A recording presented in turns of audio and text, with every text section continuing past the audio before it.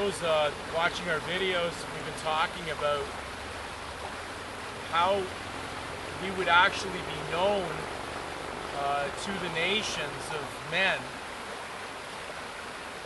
as a true disciple or a follower of God. The scripture was quite clear on it.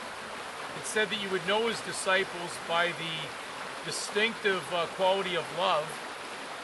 The word belief, not make believe, but belief, B and leaf, L I E F, means love.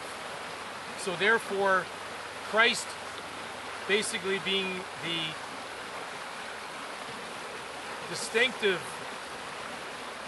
complete quality of love, the example of love to all those that listen to the message of peace, uh, showed us the way. And therefore, when someone accepts their God given name to be of the highest sovereignty, at that moment, their name is christened or becomes of Christ.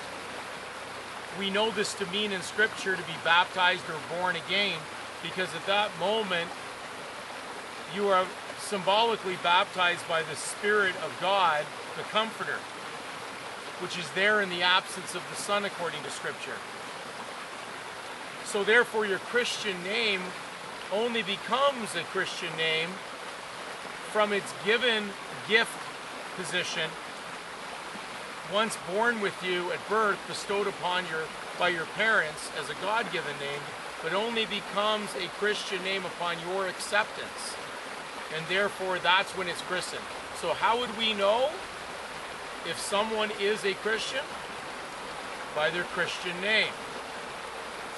How would we know those that have gone down another path, have walked in the ways of those that follow deceit, fiction, their own path, their own way, their own will, well, they would have another name.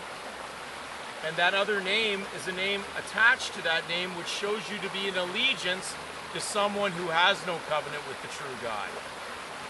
So therefore, your a surname added to one's real name identifies them as a follower trying to do his own will under a false master, a feudal master. A feudal master basically allows his feudal slave to believe that he is basically sui juris, his own master under his own right, but in reality he's still controlled by that feudal master.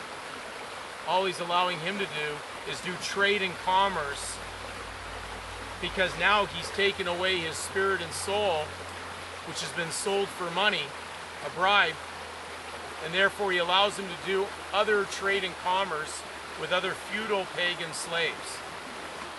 A true Christian is non sui juris. He's not of his own right, because the right that he has that's unalienable was purchased by Christ, another master. And therefore, Christ was explicit in the book of Corinthians that we were not to call ourselves masters that only Christ was to be called our master.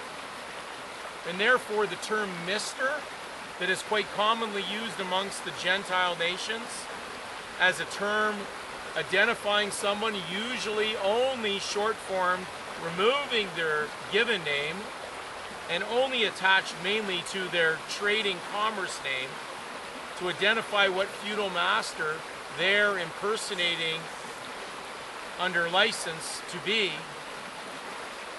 is only there for a reason to identify them away from the true God.